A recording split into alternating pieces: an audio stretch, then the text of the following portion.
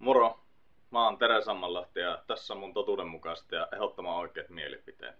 Oletteko huomannut, että mitä tulee osinkoihin, irtisanomisiin, työllistämiseen ja rahatalouteen yleensä, niin vasemmistopuolueet ja AY-liike tekee täysin päinvastoin kuin ne itse opettaa.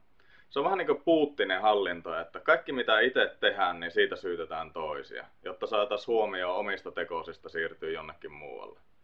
Aina kun joku suomalaisyritys joutuu sopeuttaa omaa taloutta esimerkiksi irtisanomalla ihmisiä tai jakaa mahdollisesti osinkoja jossain vaiheessa vuotta omistajille, niin eikö tämä paha akseli ole ensimmäisenä kertomassa kaikille, kuinka pahoja, ahneita riistäjiä ja ihmisperseitä nämä yrittäjät, yritykset ja niiden omistajat oikein on?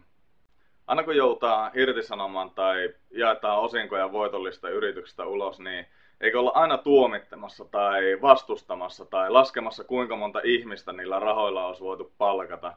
Tai kerrotaan kuinka hirveän huonot ja löysät työehtosopimukset Suomessa on.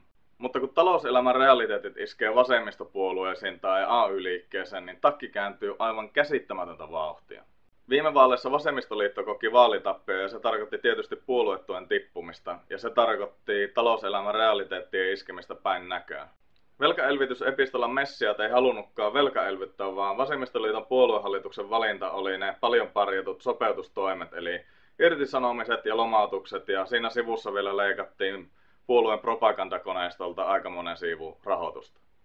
Viime keväänä vaalitappio kootteli myös velkaelvytysmantraa hokevan demaripuolueen aatetta. Demarit huolehti yhteiskuntavastuustaan sopeuttamalla omaa talouttaan sen verran, että joutuvat irtisanomaan kuusi henkilöä ja myöskin leikkaamaan omalta propagandajulkaisultaan demokraatilta rahoitusta, joka myös sekin johti irtisanomisiin.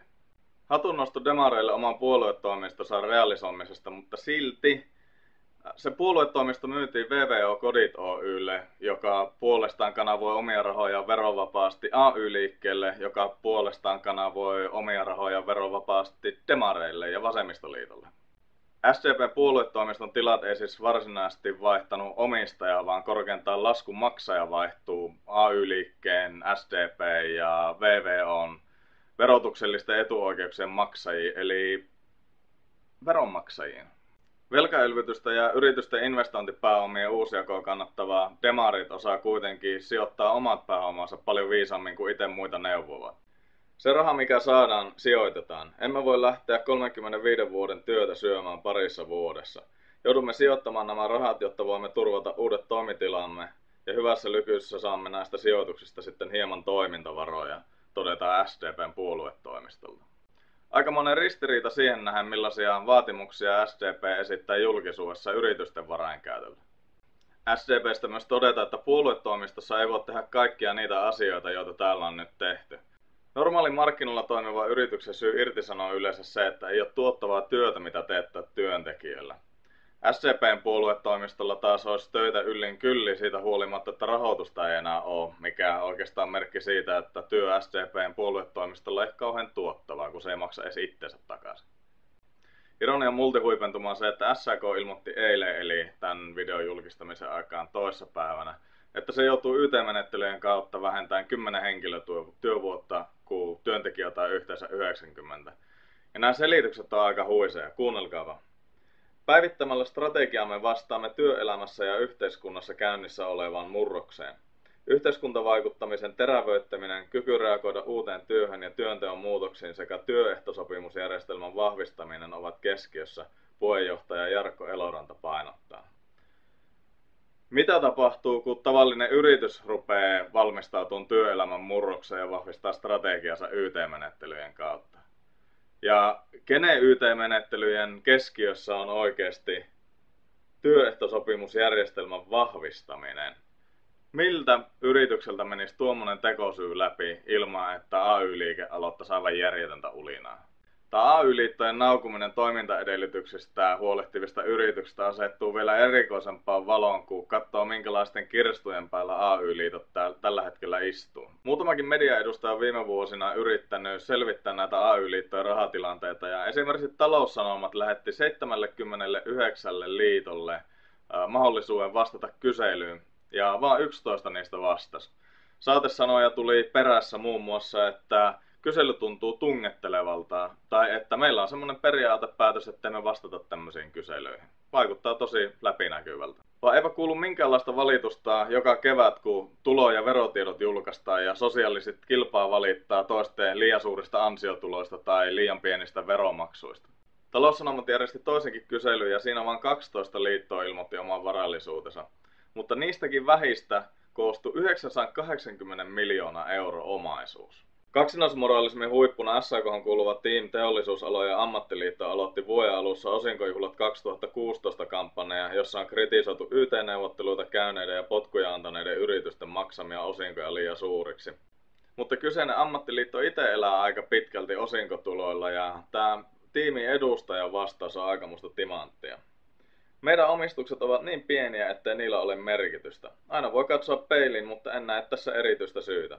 Mikäli minusta riippuu, järjestämme osinkokriittisen kampanjan myös ensi keväänä.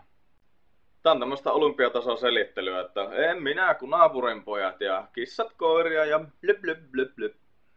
AY-liike vaatii yrityksiltä avoimuutta, oikeudenmukaisuutta ja veronmaksuhalukkuutta, mutta itse istuvat piilotettujen satojen miljoonien pääomien ja kymmenien miljoonien sijoitusvoittojen päällä. Esimerkiksi PAM tekee vuosittain noin 10 miljoonaa euroa sijoitusvoittoja, se on vain 10 prosenttia PAMin vuosibudjetista. Miettikääpä 100 miljoonaa piilossa olevaa verovapaata euroa ammattiliitolla, joka vaatii muilta avoimuutta ja verosuunnittelun lopettamista.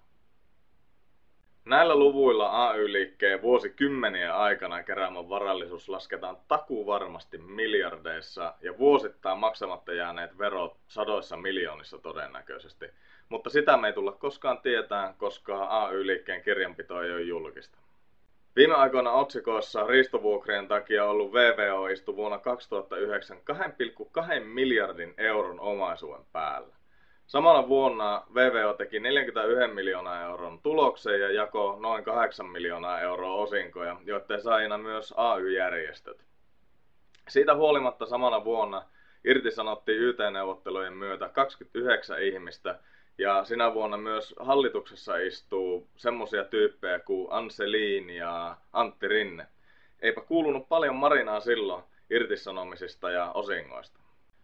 Eikä sitä narinaa kuulu nytkään oikeudenmukaisuudesta puhuvilta sosialistipuolueilta, kun yleishyödyllisiä asuntoja rakentava VVO jakaa AY-liikkeelle ennätysosingot sen sijaan, että esimerkiksi alentaisi riistovuokriaan pikkusen.